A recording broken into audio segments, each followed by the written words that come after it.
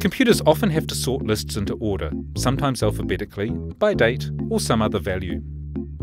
Usually computers can only compare two values at a time. We're going to simulate this by using balance scales to make the comparison. Each container is a different weight, and you need to use the scales to compare them. One approach to sorting them from lightest to heaviest is to find the heaviest one first.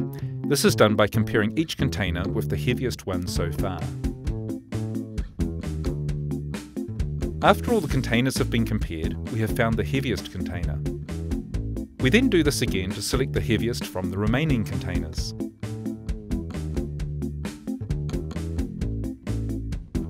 This builds up our sorted list one item at a time.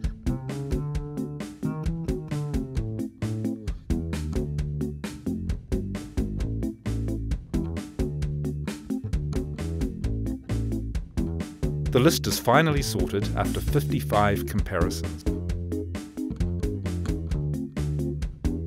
A faster way is to pick a container at random and split the collection into two groups, those that are lighter on the left and the heavier ones on the right.